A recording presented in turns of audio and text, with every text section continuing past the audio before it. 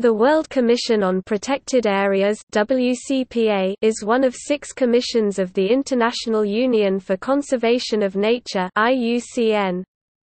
WCPA is the world's premier network of protected area expertise.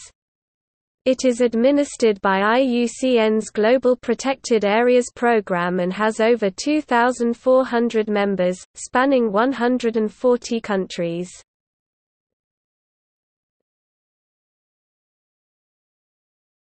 Topic. See also